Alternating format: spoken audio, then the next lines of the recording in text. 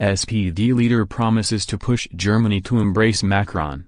Berlin, Reuters, Germany's Social Democrats, SPD, will do everything in their power to ensure that Berlin embraces the European ideas of French President Emmanuel Macron, SPD leader Martin Schulz said on Wednesday.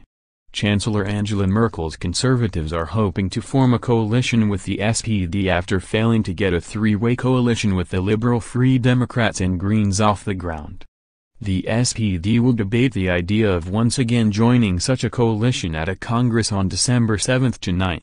Schulz criticized Merkel indirectly for not embracing Macron's ideas, which include closer cooperation in defense, migration and a deeper integration of the Eurozone. Our Congress will be about this tomorrow. What are our possibilities, our options, our instruments for ensuring that Germany embraces these French ideas, Schulz said at an SPD conference in the party's Berlin headquarters. France is making proposals and Germany is not engaging.